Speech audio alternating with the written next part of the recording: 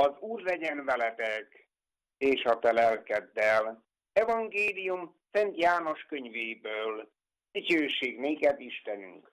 Abban az időben Jézus átment a Galileai tengernek, vagyis Tibériás tavának a túlsó partjára. Nagy tömeg követte, mert látták a csodajeleket, amelyeket a betegeken végbe vitt. Jézus fölment egy hegyre, és ott leült tanítványaival együtt. Közel volt a sidó kusvéti ünnepe. Amikor Jézus fölemelte szemét, és látta, hogy nagy tömeg jön feléje, így szólt Fülöphöz. Honnan vegyünk kenyeret, hogy legyen mi tenniük?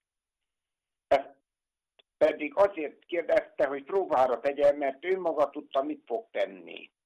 200 dinár áru kenyér sem elég nekik, hogy mindenki kapjon valami keveset felelte Fülöp.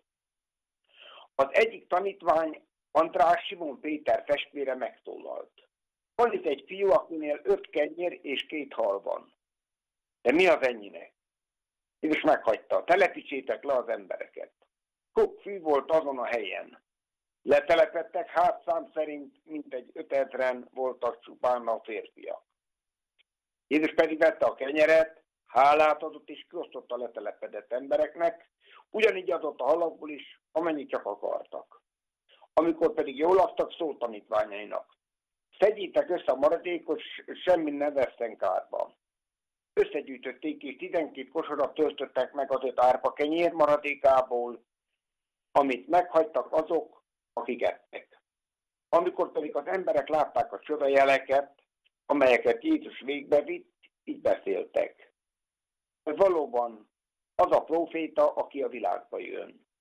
Amikor Jézus észrevette, hogy érte akarnak jönni, és el akarják vinni, hogy erőszakkal királyát tegyék, ismét visszavonult a hegyekre egészen egyedül. Ezek az evangélium igéjé. Áldunk téged, Krisztus! Az evangélium tanítása legyen bűneink bocsánatára. Dicsértessék a Jézus Krisztus! Krisztusban a szeretett testvéreim! Jézus járja Palesztina útjait, amint hallattuk az evangéliumban, jelen esetben átmegy Galilea tenger túlsó partjára, és a tömeg követi.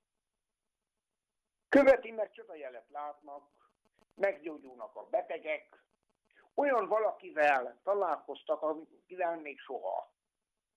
Aki őket emberi számításba vette, aki merte az ő betegségeiket, az ő nyomorúságokat a sajátjának tekinteni, mondhatnánk, és együtt érzett velük. Jézus mégis egy emelkedett helyre megy a tanítványaival együtt, hiszen fölment a zsidó húsvéti ünnepére. Ugyanakkor megszállja a tömeget. De nem csak a, ő maga tudja, hogy mit akar tenni, de nem akart varázsló lenni, hanem mint a mi életünkben is akár, elvárja, hogy mi is hozzátegyük a magunk részét. Föl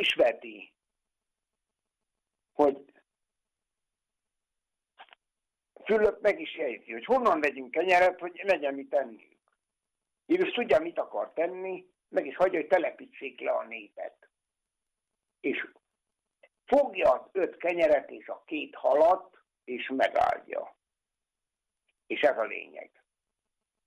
Jézus imádkozik, és az atya akaratát teljesítve, az atya akaratában viszi ezt tovább, tölti meg tartalommal. Mondhatnánk, ez egy eukaritikus beszéd, benne van rejtettem az oltári szentség. Benne van, hogy az a sok, az a 5000 ember, csak a férfiakat nem szám, a férfiakat számolva többi asszonyok a gyerekeket nem, bizonyára lehetett egy 15-20 ezer ember, aki evett a kenyérből, és Jézus érdekes módon elvárja, hogy valaki erről az öt kenyérről és a két halról lemondjon. Tehát az áldozat, és még egy elővételezi, hogy ő maga is áldozattá lesz. Mert az áldozatos szeretet az, ami tovább visz, mert ez Isten ingyenes ajándéka mindannyiunknak. És arra akar rámutatni, hogy úgy kell tudnunk éhezni az egészséges emberi kapcsolatokat, mint a kenyeret. Itt az emberekben, két, akik Jézus után mennek, kétfajta éjséget fedethetünk föl. Ott van a lelki éjség. Ott van az, hogy végre van egy proféta, van egy ember, aki minket emberi számításba vett, meghallgat, odafigyel ránk. És Jézus odafigyel az ő testi szükségleteikre is. És ezt is kielégíti. De nem akar megmaradni csupán egy, ilyen, egy olyan profétának, aki a hasukat megtölti, mert hogyan zárul az evangélium? amikor az emberek észreveszik, hogy csoda történt. Király akarják tenni erőszakkal, ilyen király kell nekünk, ingyen cirkusz, ez kellene nagyon sokszor. Pedig az Úristen az mindannyiunkat az ő teremtő művében vont bele, ezért a munka, az alkotás, az egy kegyelem, az egyfajta misztérium. Ugyanakkor mit tesz Jézus visszavonul, és imádkozik. Tehát az ima csendjéből képesek vagyunk-e elindulni. Az imából elindulva és oda visszatérve alakul ki folyamatosan bennünk az a lelki igényesség és égség, amely elvedett a szívünk csendjéhez. És elengedhetetlen fontos. Jézus belsőséges kapcsolatban van a mennyeri atyával, és ezért látja az emberek testi-lelki szükségleteit, orvosolja, de mértékkel és bölcsen. Hatalmas pedagógiával, hatalmas odafigyeléssel van Jézus az ember iránt. Az emberekért jött. Ő tett, ő mint nem csak az evangéliumot hirdeti nekik, hanem azt, hogy Isten kegyelmet, Isten szavát, Isten szavát adja tovább. Azt az örömért, hogy Isten nem mond le rólunk. És el fog jönni az az idő, mint egy rejtetten ott van a szövegbe, hogy majd ő elmegy, de ez a megszaporított kenyér, mint egy elővételezi, hogy éjséget hagyok rátok, a lelki éjséget, és ezt tartjátok szem előtt. Hogy fontos a lelki testi táplálék, elengedhetetlen, de legalább ennyire fontos, sőt fontosabb, hogy az embernek a lelki szükségleteire meglegyen az egészséges igényessége. Soratainkban nagyon sokszor, sok mindenben igényesek próbálunk lenni. Igényesek vagyunk-e lelkileg? Ott van-e bennünk az a fajta nyitottság, amely Jézust felé irányít bennünket, és Jézusnak a kenyér fölötti hatalma, hogy az anyagon túlmutat, hogy megszenteli, felhasználja az anyagot, nem, hanem megtölti tartalommal. Magát az anyagot is, a kenyeret is fölülemelkedik, és ezáltal endítja bennünk azt a fajta éjséget az oltári szentség felé, amely éjség uralja 2000 év óta az egyházat. Ezért van az, hogy gondoljunk csak bele, hogy Kalkutari Terézanya leányai minden nap az oltári szentség előtt azorálva mennek, és állnak az elesettek a szegények mellett. Ezért van az, hogy számtalan szerzetesi közösségbe ott van a szentségimádás, ott van a szentségi látogatás hogy megsokszorozódjon az isteni kegyelem. Kérjük tehát Jézust, hogy valóban az a tanúságtétel, az a folyamat, amelyet ő elindultított, és amelyet húsvétitkában beteljesített, hiszen nagy csütörtök, nagy péntek, húsvét hajnala, ez egy olyan kegyelmi csokor és ajándék az emberiségre, ebből él az egyház 2000 év óta. ezért vagyunk mi eucharisztikus egyház.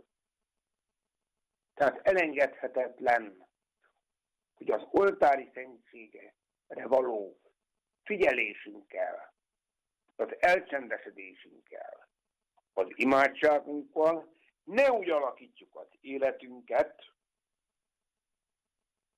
ahogy annak van Istennek tetszett. Istennek kedveteljék. Elengedhetetlen tehát az, hogy amikor Jézus vár és most a jelen helyzetben, amelyben él az egész világ, gondoljunk bele, ez egy kegyelmi próbáltétel. Szokták mondani élet kegyelem, de sokszor kegyetlen.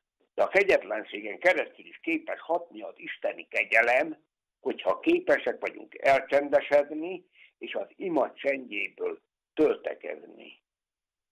Mert Jézus rámutat arra, hogy az embernek szüksége van a, itt a táplálékra, szüksége van a lelki táplálékra, de szüksége van arra az isteni kegyelemre, amely fölötte van, fölött áll mindenen, és fölötte van a kenyéren, hogy nem azért élek, hogy egyek, hanem azért eszek, mert élek. És a, nagyon nem mindegy, hogy földserejékre hova tesszük a hangsúlyt. Hogy a test és a lélek táplálkozása, tápláléka valóban megszentel bennünket, Isten emberi mi voltunkban, előttre viszi a mi életünket, hogy egy teljesen Istennek ajándékozott életet éljünk. Köszönjük meg Jézusnak, hogy a kenyérszaporítás csodáján keresztül azt a csodát akarja bennünk felfakasztani, amelyben éjséget bocsájt ránk a kegyelemnek, az oltári szentség, a szent áldozás utáni vágynak, amelyet nagyon sokszor, nagyon sokan napjainkban a lelki áldozáson keresztül tudnak megvalósítani, de ez is mélységet, de hányan, hányan már szóval tették, hogy mikor fog már eljönni az a nap, hogy elmehessünk a szentmisére, és járulhassunk szent áldozáshoz. Tehát ilyenkor érezzük meg azt, hogy mit jelent az oltári szentségnek a testet, lelket tápláló ereje, és ebből az erőből tudunk töltekezve felnőni Isten, aján, Isten ajándékozó jóságára, ehhez segítsen bennünket a mindenható Isten. Amen.